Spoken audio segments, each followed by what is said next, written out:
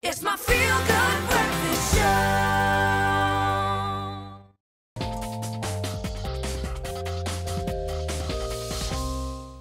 Yes, indeed. While you're contemplating what to wear to keep the winter chills out, it's time to talk travel and take a trip with Expresso this Monday morning, brought to you by Avios, the travel rewards program. Now, if you apply for an Avios credit card today, you could earn a bonus of up to 4,500 Avios when using your card. And that's the same as a flight from Johannesburg to Durban. And your Avios can even take you to the United States, where our next story takes place. Now, most of us remember what it's like being a child and uh, climbing trees to your heart's content. But what would you risk to get to the very top of the tallest tree? One man in California decided to literally put his life on the line in the name of conservation, and what he achieved is truly extraordinary.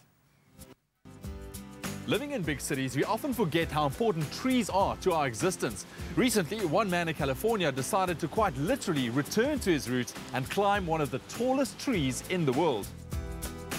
World-renowned climber Chris Sharma is best known for climbing giant rock faces, but soon he would face his greatest challenge yet, to climb a giant redwood tree. In the heart of California's redwood forest, Chris embarked on a mission to not only attempt to climb one of these epic structures, but to get back to the essence of being a kid again, to experience the wonder of nature in all its glory. The problem for Chris was that climbing trees is very different from climbing rocks. These are living beings, unpredictable and often extremely slippery.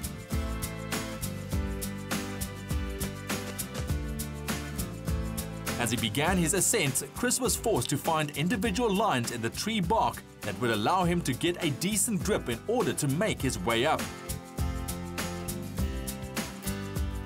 Taking each section of the tree one handful and step at a time, Chris was forced to use all the strength he could muster, pushing his body to the very limit. From this height, the world suddenly becomes very peaceful. But underlying this peacefulness is the sad fact that California's giant redwood forest is in a crisis because of the historic drought that currently plagues California. A part of Chris's mission was to reach the top in order to evaluate the impact of the drought on the trees. And after two hours of hard climbing, Chris finally reached the peak of a tree at an epic 77 meter height. From here, he was able to take leaf samples from different sections of the tree so that biologists could examine them in order to understand how the redwoods are responding to the drought and to determine the stress the trees are under. While this was a huge dream come true for Chris, it was also a humbling experience when considering that these trees are literally hundreds of years old and in danger of dying.